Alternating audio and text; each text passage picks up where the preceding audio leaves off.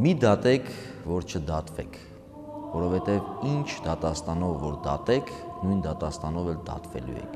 Ինչ չափով որ չափեք, նույն չափով էլ չափվելու եք։ Այս պատվիրանը չդատելու մեծապես կապված է ճշմարտության ընկալման հետ։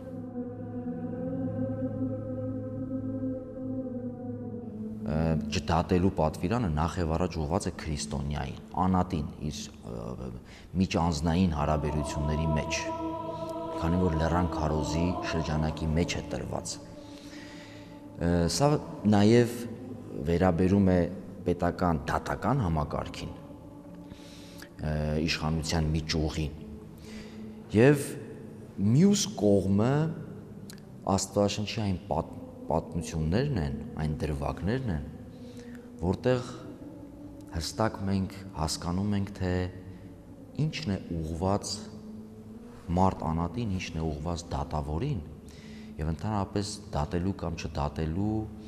ամբողջ այդ նրբություններն են բացում։ Հիմքերը ամեն դեպքում մենք տեսնում ենք սուրբ գրքում։ Բայց մինչև սուրբ գրքին անցնելը տեսեք ճշմարտության հետ կապված արդեն դատական համակարգը ունի այդպիսի գործելակերպ, սկզբունք, չափանիշ։ Ինչ է անում դատական համակարգը։ Արդարադատություն իրականացնելիս փորձում է լսել պատասխանող կողմին։ Այն մարդուն, ով մեղադրվում է։ Այս լսումները շատ կարևոր են։ Հիմա բերենք մեր օրինակ, երբ որ մենք մեկին դատում ենք, դատելու մեջ մենք կարող ենք ամփոփել հայոյելը, բամբասելը, չարախոսելը, բանսարկություն անելը եւ այլն եւ այլն։ Մենք փորձում ենք լսել այդ մարդուն, հասկանալ արդյոք այդ արարքը կատարվել է թե ոչ, ինչ մտադրությամբ է դա արվել, լսում չենք անում, մենք առանց լսելու կայացնում ենք անողոք վճիր Գոնե այս առումով մենք կարող ենք դատական պրակտիկայից օրինակ վերցնել։ Իսկ դատական պրակտիկայի համար լավագույն օրինակ են Աստվածաշնչյան որոշ այսպես ճակերտների մեջ ասած դատավարական դրվագներ։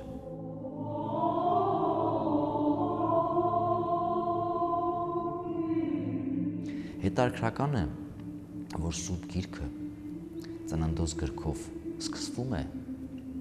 դատավարությամբ, պայմանականորեն ասած, առաջին դատավարությունը տեղի է ունեցել դրախտում։ Երբ արգելված պտուղը ճաշակելուց հետո Աստված հարցակնեց, լսեց եւ վճիռ արձակեց։ Եվ վերջանում է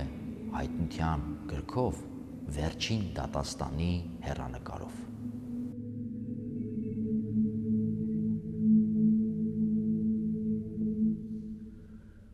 Առաջին դատավարությունը, որ կատարվել է պայմանականորեն ասած դրախտում։ Եվ այստեղ շատ հետաքրքիր է լսումները։ Աստված հարցնում է. Ով ասաց քեզ, թե մերկ եք արդյոք կերակ արգելված պտղից։ Սա ուղված էր Ադամին։ Երկրորդ հարցադրումը ուղված է կնոջ Եվային։ Ինչ արեցիք։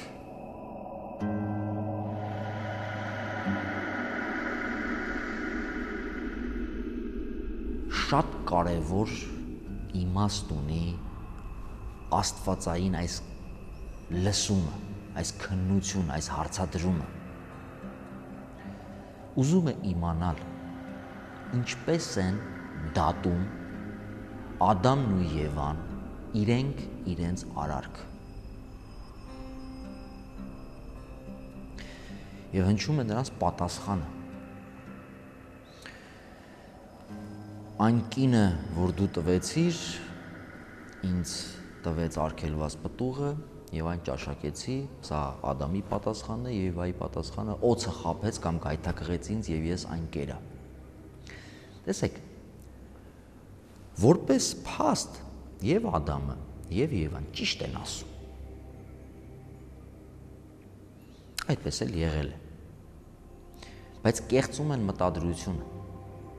դիտավորությունը իրենց։ Ի վերջո իրենք իրենց ցանկությամբ դա արեցին։ Իրենք էլ էին ուզում դա անել։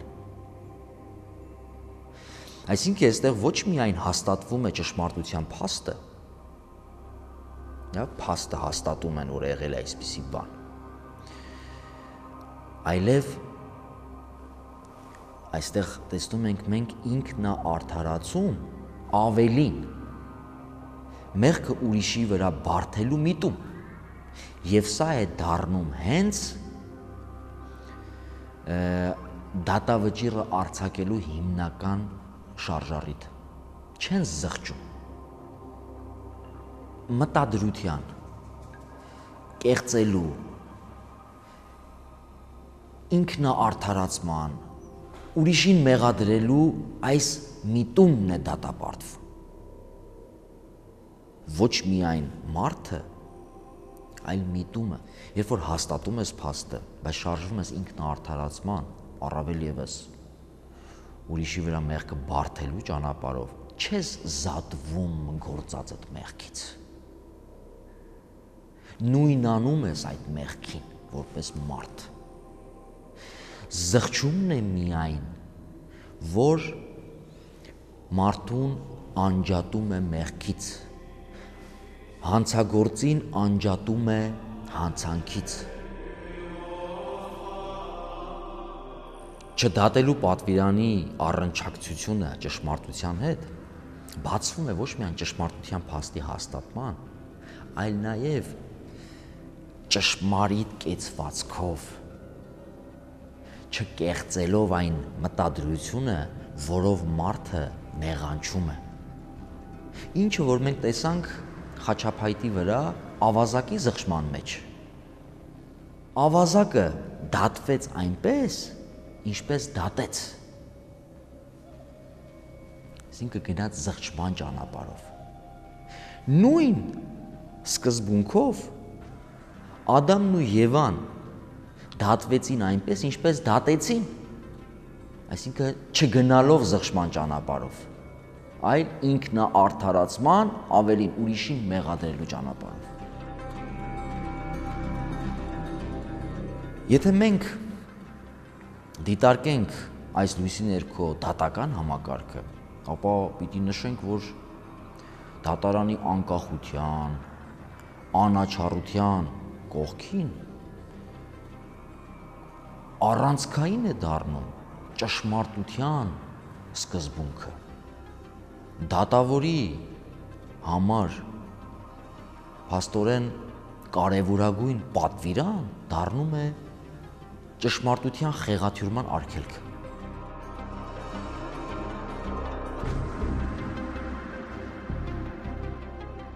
դատական համակարգը որը չգիտես ինչու երրորդն է համարվում պետական իշխանությունների այդ տարանջատման պատկերի մեջ անկախ է, առանձին է այսպես։ Մենք անդաշեշտում ենք դատարանի անկախության իրողությունը մեր երկրում։ Գուցե թղթավորմամբ մեր դատարանները անկախ են Բայց մենք մի փաստ ամեն դեպքում պետք է արցանագրենք, ինչը եւ դարձավ պատճառը այն ամենի, ինչ տեղի ունեցավ մեր երկրում։ Որ դատական համակարգը իրականում անկախ չէ։ Ավելին գործադրի այսպես ասած ազդեցության տակ է։ Եվ ուզում եմ մեկ օրինակ բերել սուբ գրքից։ Երբ հին ուխտում մենք դիտարկում ենք դատավորած շրջանը, որին հաջորդում է թակավորական միապետական շրջանը, այս անցման ժամանակ տեղի ունենում հետևյալ իրադարձությունը։ Ընտրյալ ժողովրդի ներկայացուցիչները մոտենում են մարգարեին, այսինքն միջնորդին Աստծո եւ ժողովրդի եւ անում են հետեւյալ առաջարկը եւ նաեւ պահանջ ուզում ենք ինչպես մեզ շրջապատող ազգերը այնպես էլ մենք ունենանք թակավոր որպեսի մեզ դատի Տեսեք, թակավոր գործադիր որպեսի մեզ դատավարություն անի։ Այսինքն ուզում են մի իշխանություն, որտեղ գործադիրը եւ դատական իշխանությունները մեկ են։ Եվ սա Մարգարեի կողմից գնահատվում է որպես Աստված ուրացություն։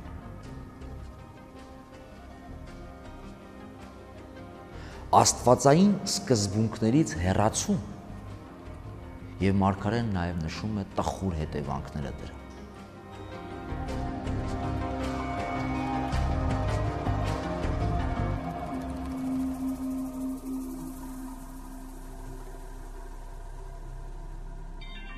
Դատական համակարգը այս համատեքստում աշխարհիկ իշխանական համագարքի այսպես ասած ճակերտևոր հոգևոր իշխանությունն է կոչված փրկության մաքրման բժշկման լուսավորման եւ ի վերջո հասարակության կայունության ապահովման երբ դատական համակարգը ենթարկվում է կամ գտնվում է գործադիր իշխանության ազդեցության ներքո հետևանքները աղետալի են դառնում հասարակության եւ պետության համար։ Ինչի արցանագրումը մենք տեսնում ենք այսօր։ Տեսեք, երբ մարդը մեղք է գործում եւ չի զղջում, չի մաքրվում, մեղքերը անընդհատ կուտակվում են։ Կոշտանում է կոշտացում է տեղի ունենում։ Երբ սա տեղի է ունենում հասարակական մակարդակի վրա, այդ կոշտացումը լինում է բոլոր ոլորտներում։ Գաղժ մտնոլորտ ասվածը այլ ձևակերպմամբ ոչ այլ ինչ է, եթե ոչ այս կոշտացումը։ Դատական համակարգը իմ գնահատման որպես իշխանության թևերի մեջ առաջին ճյուղը պետք է թույլ չտար մեղքերը մեղքերի վրա կուտակելով հասնեինք այս կոշտացմանը, որ լիներ ներսից այս պայթյունը, այս բողոքի ընդվզումը։ Իդեպ ասեմ, այսօր էլ մենք կանգնած ենք այս ճանապարով գնալու հրամայականի առաջ։ Մենք չենք կարող պետական մարմինները, պետական կառույցները պետականության կերտման ճանապարհին դուրս դնել աստվածային սկզբունքներից։ Մենք չենք կարող գնալ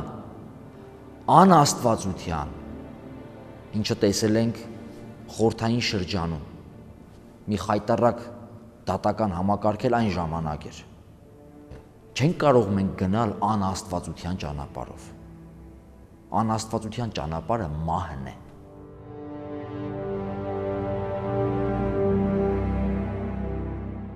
Այս առումով նաև ուզում եմ մի հետաքրքիր պատկեր բերել մեր եկեղեցական հոգևոր կյանքից։ Տեսեք, մեր եկեղեցիները ներկայացնում են պայմանականորեն դարձյալ փոխաբերական իմաստով մեր դատարանները։ Մենք ամեն անգամ, երբ եկեղեցի ենք մտնում, ասես թե Տիրոջ դատաստանի առաջ մեր դատական նիստերին ենք մասնակցում։ որը ավարտվի վերջին դատաստանով, երբ կհնչի վերջին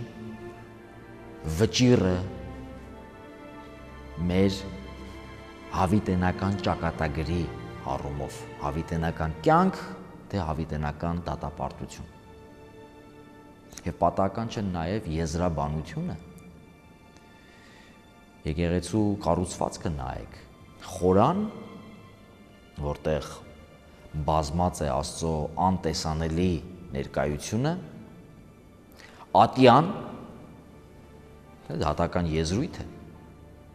Ժամագիրքը օրինակ կոչվում է ատենի ժամագիրք, ատյանի ժամագիրք։ Մեր աղոտների մեջ կարմիր թելի պես անցնում են աղոտներ, որոնք համեմված են դատական եզրաբանությանը հատուկ բառերով։ Եվ ատյանից հետո գավիթ, որտեղ կանգնում են ժողովուրդը։ Իդեպ ատյանում էլ բաժանված են դասերի,